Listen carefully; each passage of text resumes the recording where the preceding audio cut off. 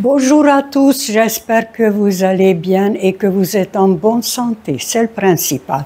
Je vous souhaite avant tout une très belle année 2024, beaucoup de santé, beaucoup de bonheur et que tous vos vœux se réalisent parce que je vous dois beaucoup. Je vais vous expliquer. Dans les toutes premières vidéos, on voit bien que c'est une petite vieille, fatiguée, usée, malade. Elle avait même pas la force pour parler. Et grâce à vos commentaires, grâce à vos encouragements, je me suis reconstruite et j'ai beaucoup d'énergie maintenant. Et j'ai tellement d'énergie que je peux maintenant partager avec d'autres qui en ont vraiment besoin. Donc, je vous dois beaucoup et je vous dis encore une fois merci. Alors, aujourd'hui, je vais parler des chats. Pourquoi les chats? Parce que je découvre quelque chose moi-même. Pourtant, j'ai des chats, j'ai toujours eu des chats, mais je découvre seulement maintenant. Alors les chats, ils sont pas là simplement parce qu'ils sont gentils, on est bien avec eux, etc. Techniquement, il y a beaucoup de choses à expliquer. Alors tout premièrement, si j'ai jamais eu de crise cardiaque, jamais de problème cardiaque, c'est grâce à mes chats. Il paraît qu'ils protègent nos cœurs. Alors, lorsqu'on est en contact avec les chats, on les caresse. Le hormone de stress, le cortisol, il descend au plus bas et le hormone de plaisir, le dopamine, il monte. Ça fait un bon équilibre et ça protège le cœur puisqu'on sait que le premier ennemi numéro un de cœur, c'est le stress. Donc, mon cœur, il est sauvé. Donc, jusqu'à 150 ans, je peux aller facilement comme j'ai prévu d'ailleurs, c'est mon attention. Alors, deuxième qualité des chats qui protège nos articulations, il répare les os cassés.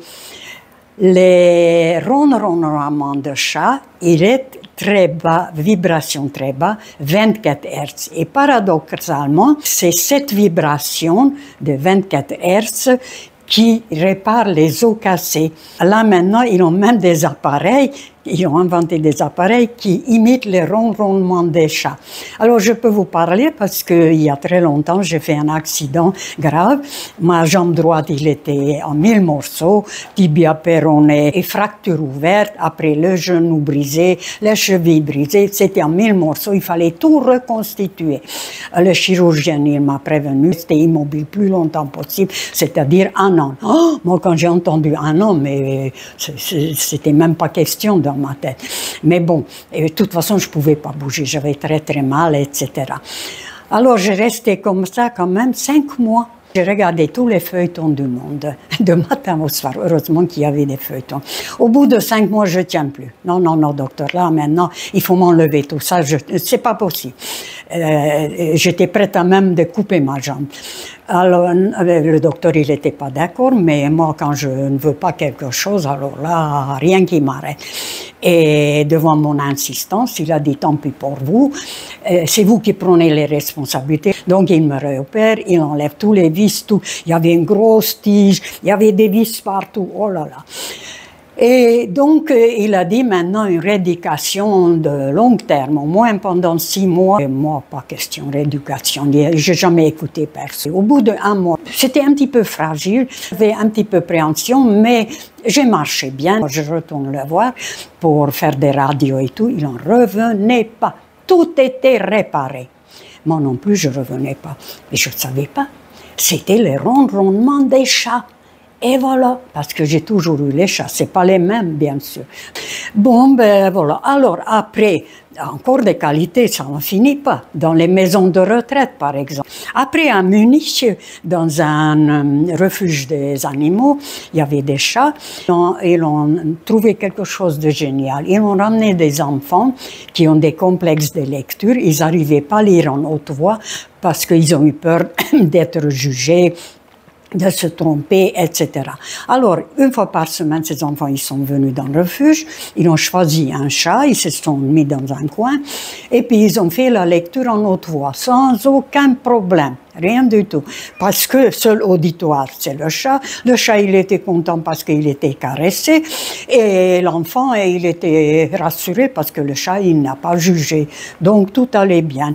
Alors, vous voyez, il y a beaucoup, beaucoup d'intérêt de garder un chat à la maison. Ensuite, il y a un chat célèbre, c'est le chat de Schrödinger. Tous ceux qui ont fait l'expérience de mort imminente, en fait, c'est des chat de Schrödinger, potentiel chat de Schrödinger, parce qu'ils étaient en deux états superposés, là où ils étaient vivants et en bas morts.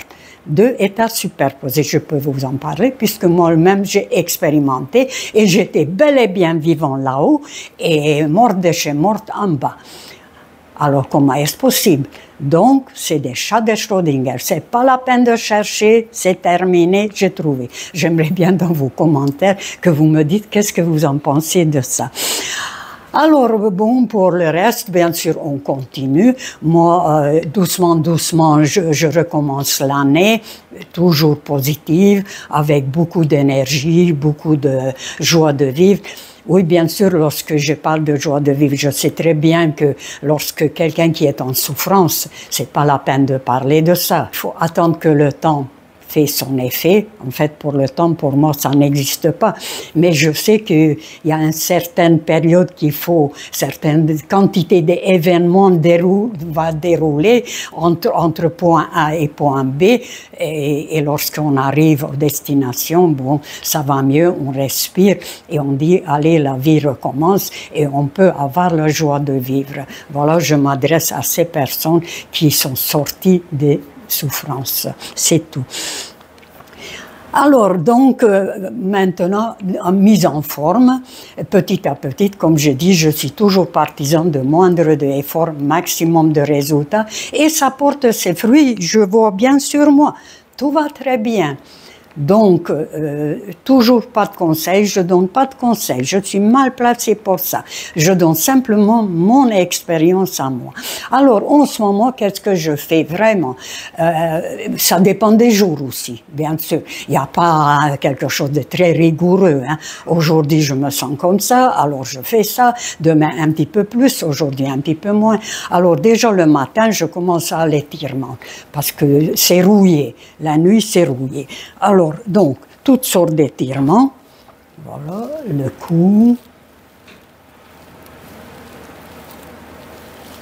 Voilà. Et même les doigts. Voilà, c'est le yoga de doigts, parce qu'à l'époque, quand j'ai tremblé comme ça, j'ai pas pensé de faire ça. Heureusement que j'ai commencé le Rubik's Cube, c'était pas le plus facile, mais du fait que j'étais obligée de me concentrer, ça va. Maintenant, je fais régulièrement ça. Alors après, voilà. Pour le dos, voilà, vous voyez. Après, pour monter un petit peu le rythme cardiaque,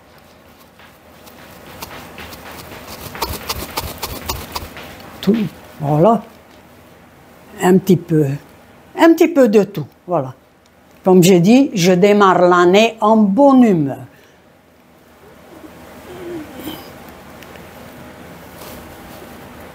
Voilà. Ça, c'est très très bien pour le dos. Et un petit peu de musique.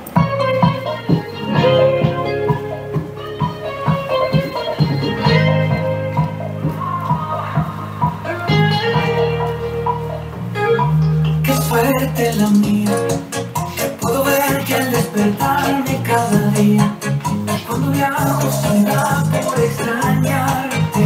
Tengo en tienen tus ojos, tus labios, nunca se acaba esta luna de miel. Somos la y el. Tú yo vamos juntos desde que nos vimos. Subimos, bajamos, lloramos, reímos. C'est pas tout à fait mon rythme, mais j'ai compris l'intérêt qu'il faut travailler ça aussi.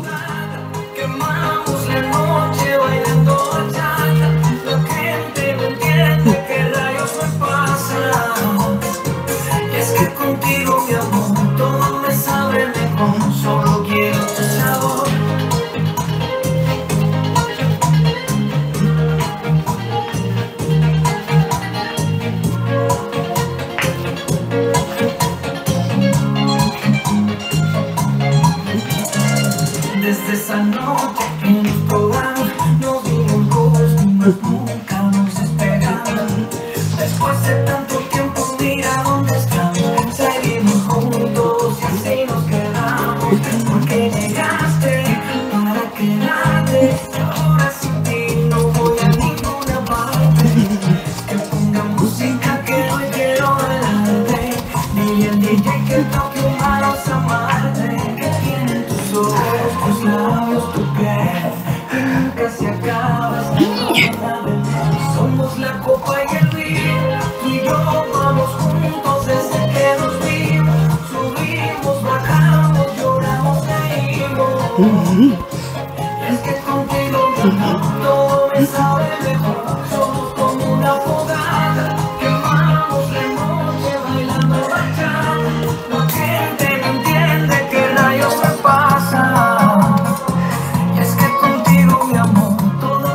Voilà. Bon, ben sur ça, je vous souhaite une très belle journée, très bonne santé et à très bientôt. Merci, au revoir.